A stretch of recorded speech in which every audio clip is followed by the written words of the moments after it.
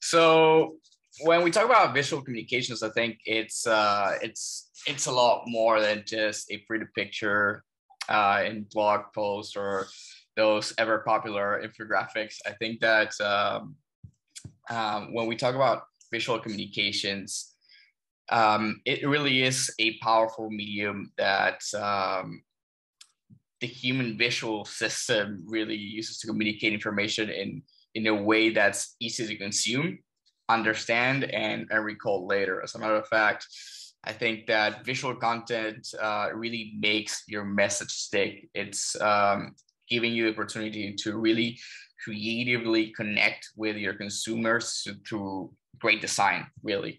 And of course, uh, that all sounds amazing and, and all, but how do we know what visual con uh, what visual content is and um, and what will work for our goals and uh, how do we make sure that people see it and how do we come up with the right ideas, right? So um, yeah, as, as, as, I'm showing here, I think that uh, when we talk about what visual content is, I mean, it's just more than it is a combination of, of in its very in its core, it's a combination of images and text and, and graphics and images that you see and read, interact with in, in the consumer media, right? So, I mean, it can go from this webinar, photo slideshows, or infographics, you know, ebooks and all that. And um, I read somewhere that uh, the average modern person uh, sees or is exposed to at least 5,000 ads per day, which is a astronomical number. But really, when um, when we think about it, we're so desensitized, and that's why we're here to talk about it today. I think that um, we're in a day and age where we need to find different ways to put it together in such a way that it doesn't feel like marketing and it doesn't feel like uh, we're trying to uh, conduct people uh, with a purpose. It needs to feel natural. So why do I like visual content and visual communications? Because it's effective. It really provides uh, three advantages that that uh, I think actually, if done well, most visual uh, most visual communication has with your audience, and that's the fact that it's appealing. So visual content really uses the sign to present the information in a format that is actually stimulating to to to the user or to, or, or to the person who who's on the buying side it's attractive it's engaging and it makes it easier to synthesize and as well as pick the interest immediately and um yeah and in, in short it's uh really the visual content of what you create that grabs your attention most of the time. And, th- and that reason is because your brain, the, the way that, that, that it processes um, visuals, it's a lot faster than, than that of text. So it's more efficient.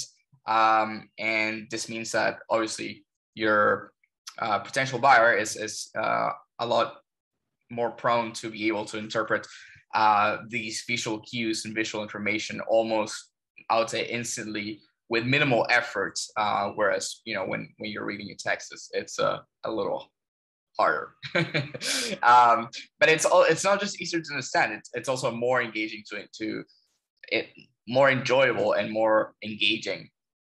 Um, and the last thing is that obviously it is easier to retain, right? So we're talking about a the visual processing system, um, which also works with long-term memory memory and uh, this really connects your images or what you're presenting in front of the user with information that is already stored um, in their brain. So this makes uh, makes the visual content um, a lot more memorable than other mediums. And I'm not trying to bash, um, you know, a blog post or or a long email or anything like that. It's just uh, the way that our brain really works. Um, I think that uh, actually before I even move to, to, to this slide, I think that um, back in the day, back in the Mad Men era, uh, where brand publishing and and um, and um, big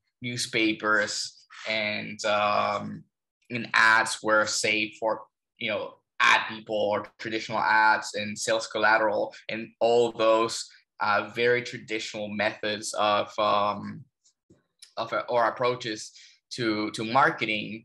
Uh, now with this visual approach um, that is very very um, attainable to, to to most people. You're you're able to create so many more touch points that that truly let you tailor and deliver an interesting message at various stages of, of, of, the journey right? And this is what ultimately is supporting your marketing goals. As a matter of fact um, before reaching this webinar maybe i can actually do a poll here. Um, I, would be curious to how you found out about this webinar. As uh, when we picked our audiences we established that um, that we would need around uh, five to seven touch points to get uh, get you here and uh, and get you to to listen to to sit down and listen to me.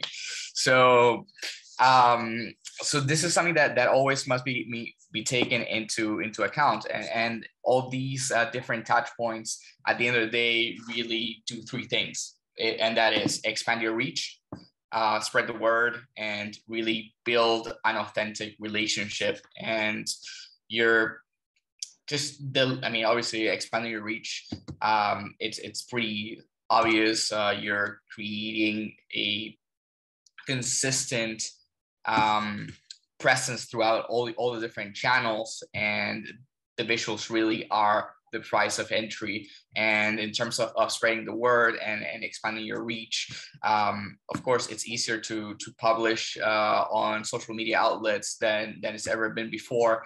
And of course, uh, a lot easier than, than to copy paste or, or write an article. And of course, uh, in terms of building a, an authentic relationship, I think that consumers are, it's safe to say that consumers are more attracted to brands, not just for the services uh, and, and the core products that, that, that they're uh, serving the user, but um, they the user wants to be able to relate to them and to the company's personality and culture and um, you can do so um, and reinforce it through instagram or a blog or start creating different windows to your company and who you are. And um, you can only do so through through all these channels. Um, moving into the actual journey. Sorry for for uh, on for, for for quite a while, but moving on to the on, onto the actual journey, which is uh, quite long. I think it, it's uh, it's important to understand that visual content really helps you support uh, your efforts and moving people along uh, the path to purchase and beyond that to, to advocacy and um, when when we talk about uh, attracting uh, users or attract or the attraction stage of, of, of, the journey. I think it's relevant to the what what you're creating, or rather the visuals that you're creating should be relevant to a much wider audience, and it should be made to catch the attention of the viewer. So so so that they all play different roles, and what you'll be serving them is typically informational, or it should have entertainment value and it shouldn't stray much further than that because at this point what you what we're trying to do is really stand out in a sea of sameness. When once the user has once we have piqued their attention and the user is um, actively looking and um, what we're what we're trying to do with our visual communication is to build that brand credibility and trust. And how do we do it? We do it with product information, uh, with expert guides. Um, typically, this will be in, in, in the form of infographics, for example, or um, things that are related to, to the product, but are not um, aggressively targeting the user in a way that um, they feel that you're selling to them. Now, once the user is ready to buy, once we're in the conversion stage, um, the point is to really educate on the benefits of, of choosing you with clear calls to action, for example, case studies, product literature, uh, battle cards, or kill sheets, right? And these are things that summarize your business in a very in a very concise and um, an easy to consume manner and here's where you, you will need or, or for example it could also be a webinar. It could be um, something that makes it super easy for the user to really uh, catch that leading edge that you have um, in a few um, with with a few pictures and and and text. Uh, next, moving on to ad, ad, advocacy, I think this is where people uh, neglect their media or their content the most. I think uh, here's where you should be providing value to the audience plus purchase to delight them to bring that word of mouth to get those referrals and create content to reach uh, so they can reach goals right so what we what would be creating here would be a knowledge base for example this webinar uh, has been uh, will be added to to our knowledge base or to, to our repository of webinars where our users continue to go back to it and try to learn from it. Premium content that is not uh, given to to anyone else right?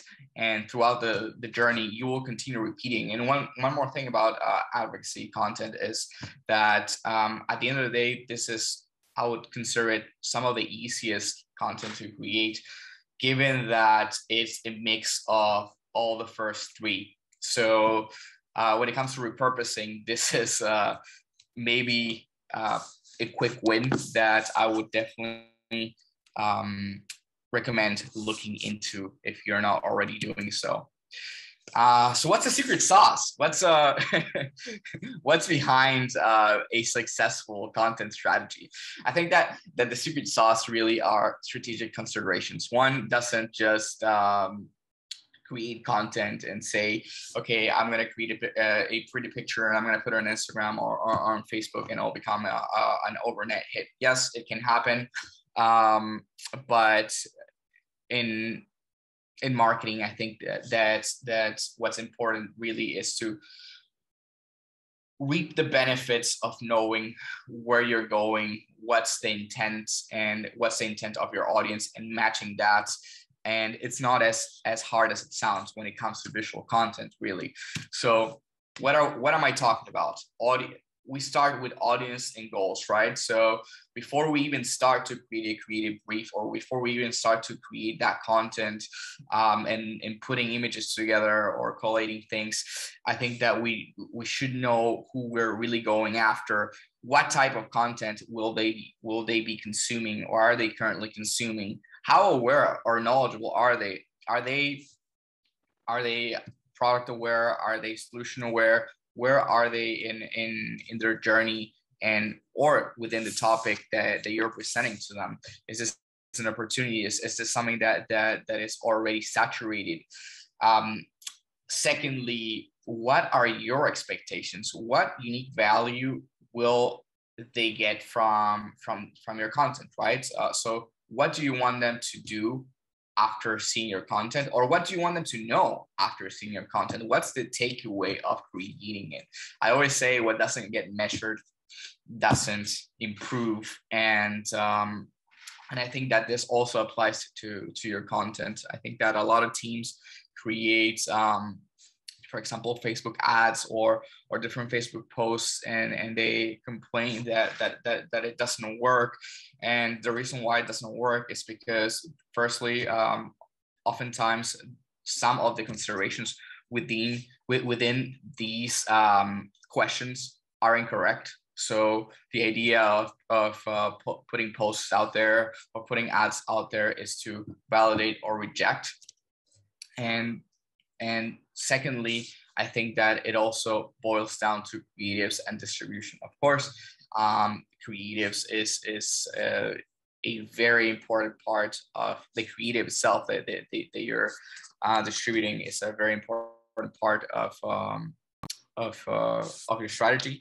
And the question that you should be asking is what what creative will engage them to take the desired step, right? And that's why we A/B test as well. Um, secondly, is it our current visual addressing both our audience's needs and our goals at the same time? If yes, we should proceed. If not, then we should get back to the drawing board. And the other aspect and fourth aspect aspect is distribution, right? So what channels will we use to best reach our audience?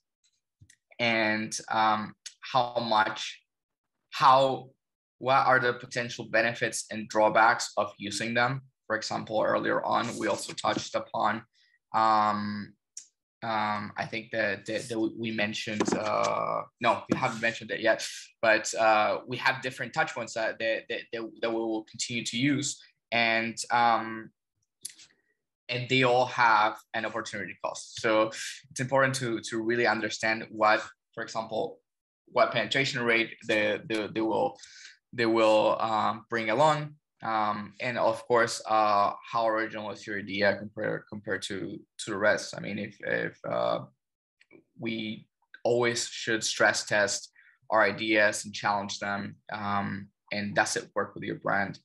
Um, I think that this last point is very understated. A lot of people um, continue, or at least I, I continue to see brands putting content out there, or LinkedIn, or or different uh, channels where uh, you see a great creative or a great um, a great value proposition, um, but you cannot tie to the brand. It's uh, off brand. There's no brand colors. There's no there's nothing to to really tell um, that um, that it belongs to them, and that's a, a missed opportunity because at the end of the day, if you've been listening for the past five five to ten minutes, uh, you'll know that um, this is what's uh, what people will remember later on or, or who they, they will come back uh, to later on. So uh, the platforms and benefits, right? So we're here's where we start to touch upon matching goals, expectations, and budgets.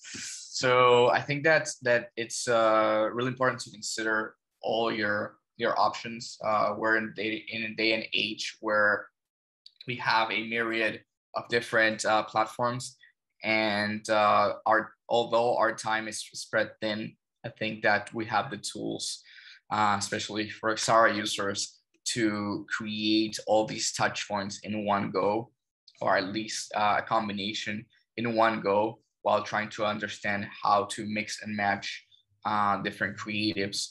So, I mean, obviously, um, the no-brainer is always your website, right? So that's a free, fixed, um, limitless placement for you to continue using social. Um, here's where it's not just uh, thought leadership and, and controlled and full control over what you're putting out.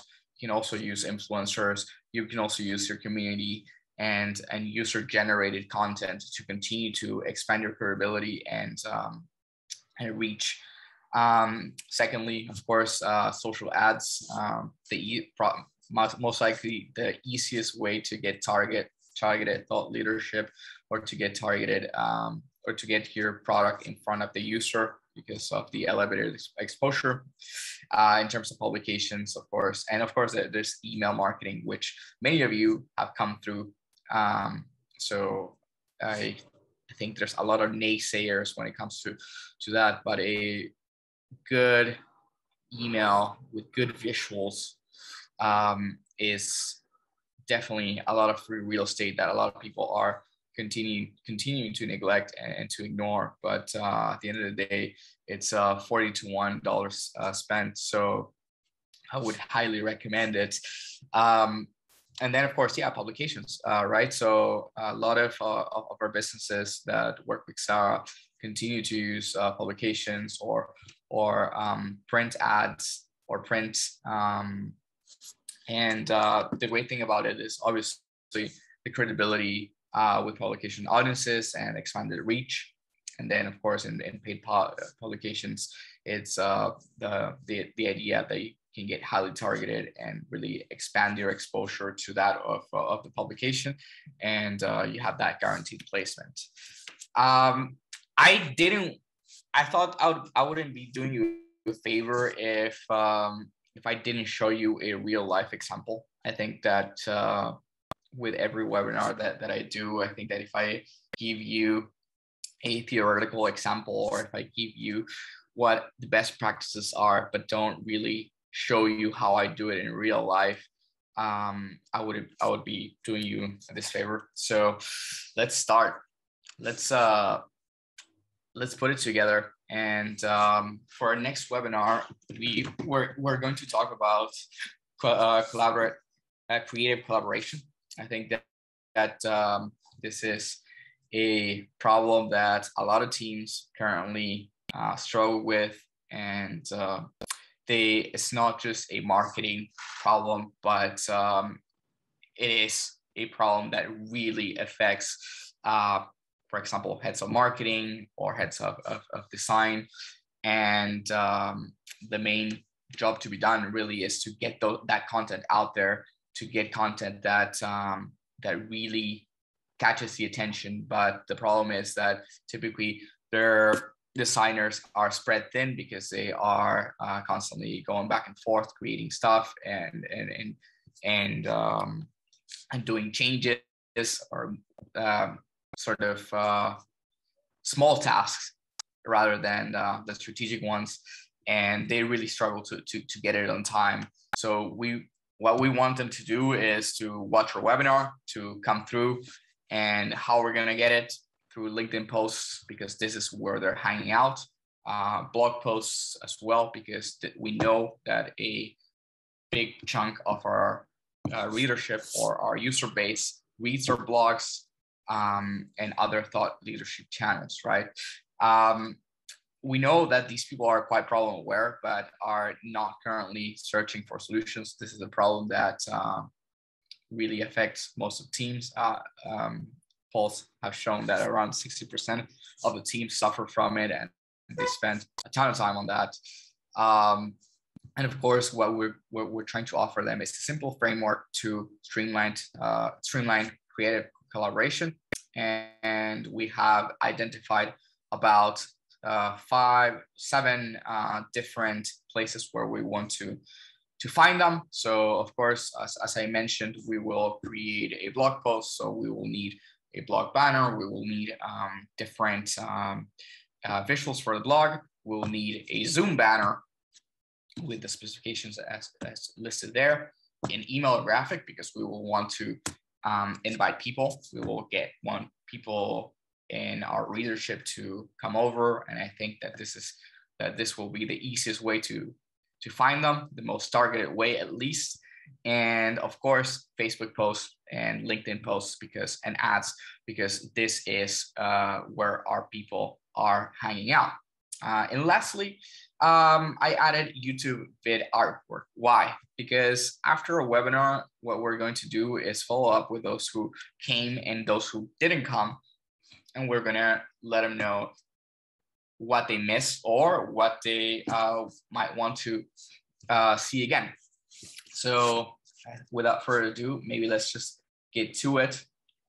I think that um, I'll just start with uh, a normal Let's go through our templates. Maybe I'll pick something on um, Facebook or Instagram. Um, let's see what we have here. Um, actually, let's pick an event because that's easier. Great. Righty. So what do we have here? Let's uh, uh, let's start from scratch. How about that, actually? I like that even better.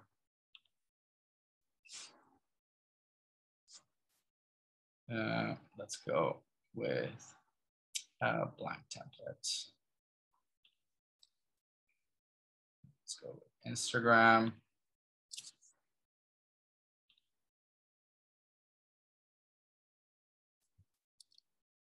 Open.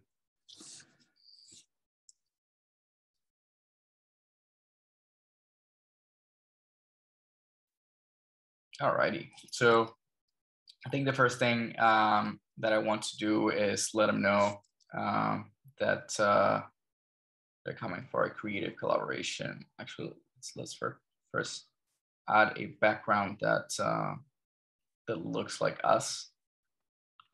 Perhaps this is nice. Uh, Let's replace the background.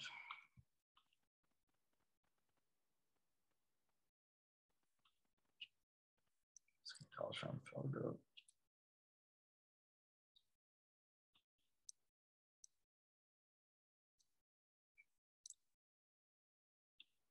Uh,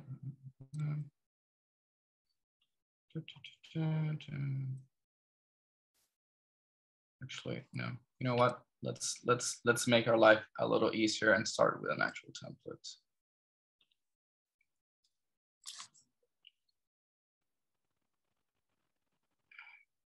Sorry, I'm just feeling a little lazy when it comes to to doing this. So let, let's just okay. Um,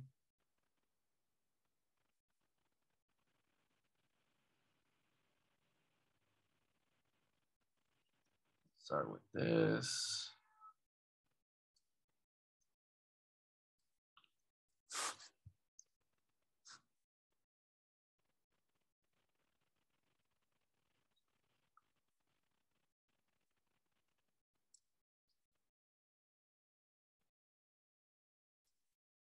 Alrighty, so so what do we have here? Let's uh, first first thing first. Uh, let's replace this. I do wanna. I do feel very inclined to using our Xara colors and uh, our multicolor assets I think this is locked.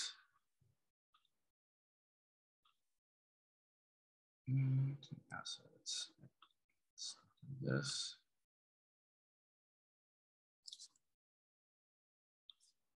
Let's let's this. I think this has been locked by our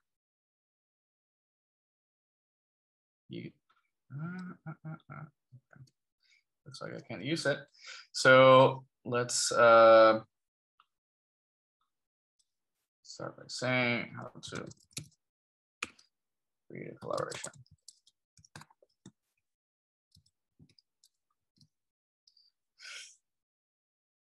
Simplified. Simplified. Let's remove this.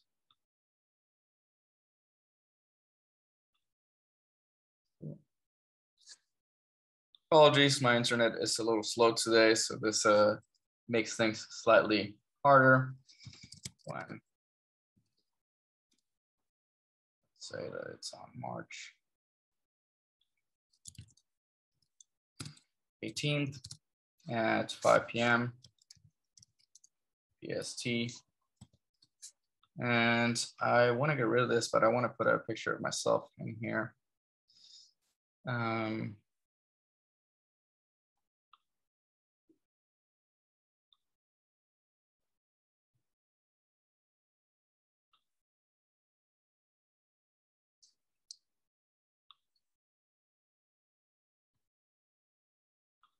And let's replace this with me. Hmm.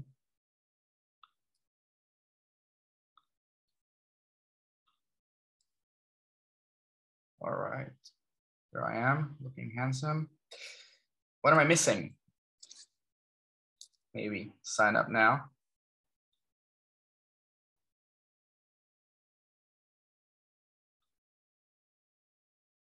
Smaller.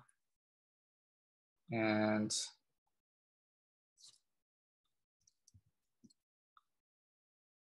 So,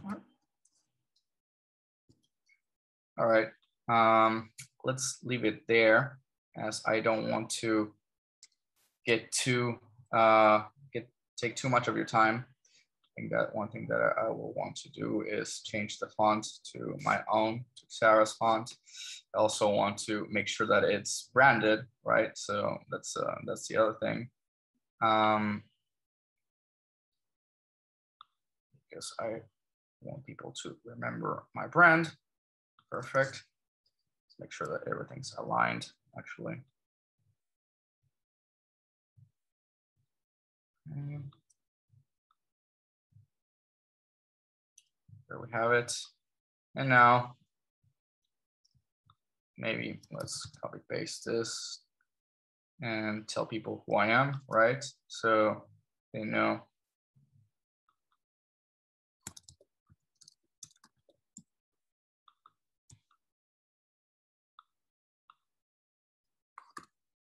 The next thing that we're gonna do is try to reach them in different channels. So currently what we're looking at is a LinkedIn post. Let's first name it.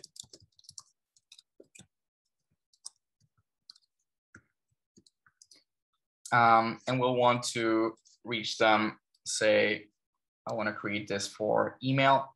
So I'm gonna, I work with, um, I work with um, Intercom, which uh, does 620, 680 by 1200. Okay, perfect. So we're gonna copy and resize it. So now we have one post there. And uh, the next thing that we're gonna do, as a matter of fact, what we're gonna add to this one is perhaps a button to let people see that it's also clickable. And the other thing that I'm gonna do, while that loads, or while that, while my internet decides to do something, um, the next thing that, that I'm gonna do is I'm gonna post it to social, to all, all the other social channels. So we have Facebook, Instagram, and Twitter. As you can see, they're all tailored um, what I'm gonna do next is uh, ensure that they are correctly done. So for example, I didn't lock them. I should have locked the aspect ratio. Um, that's a rookie mistake on my end. So what am I gonna do here? I, I'm gonna expand it and make it a little smaller. Um, so now all the posts are kind of ready to go and oh, except for this one. Let's make it larger. Uh,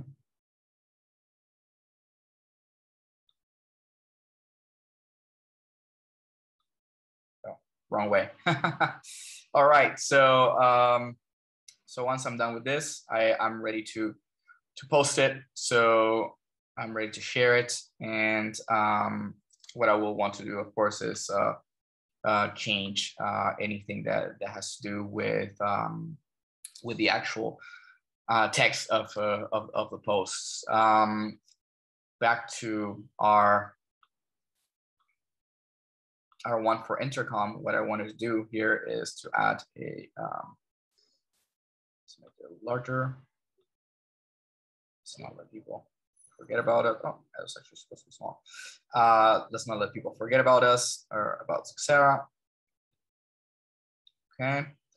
And what we're gonna do, um, since I'm in a rush, is I'm gonna add a small button here so people can actually just uh, click on it and uh, and they are aware that it's uh, and they're aware that um, that they can sign up right here uh, by just clicking on it. Um, just drag it along. Alrighty. Oh, what am I doing? Right. Sign up.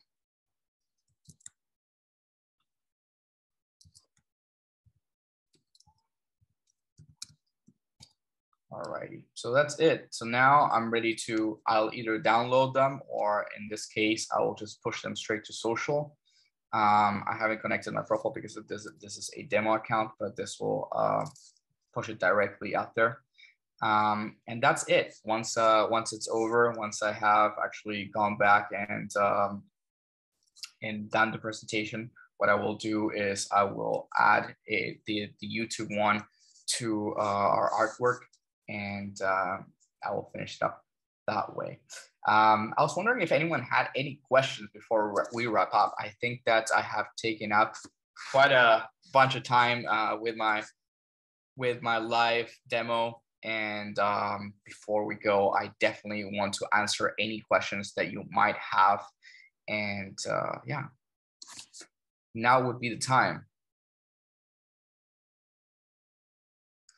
One thing that I forgot to, to mention, well, I see if there's any questions. Um, thanks. Um, if there's any, one thing that I forgot to mention is that, uh, of course, um, this is a, um, this is something that, that uh, if I'm fully happy with, I can replicate for later on. So what I'm going to do here is um, save it as a template. So if my team wants to replicate it ever after. Uh, what they're going to do is just, so I'm going to save it.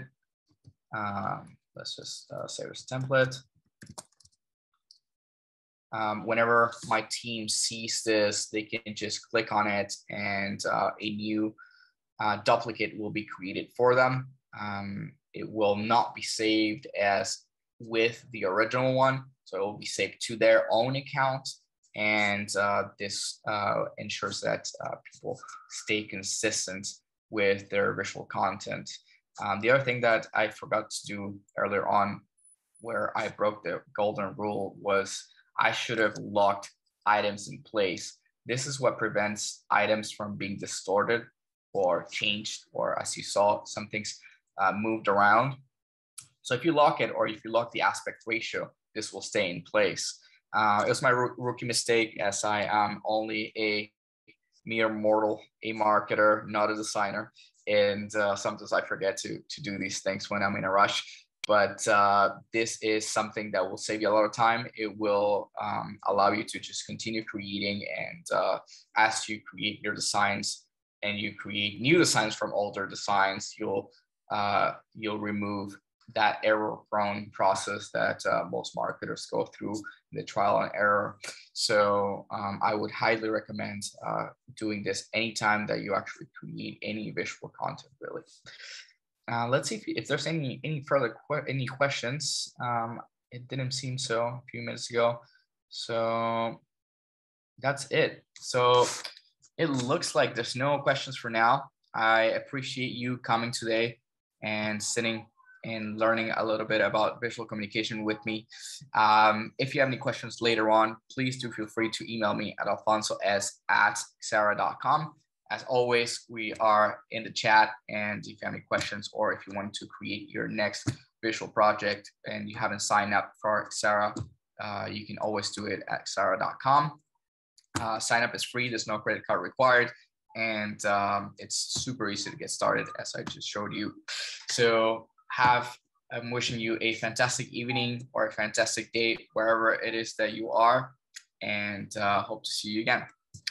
Bye bye.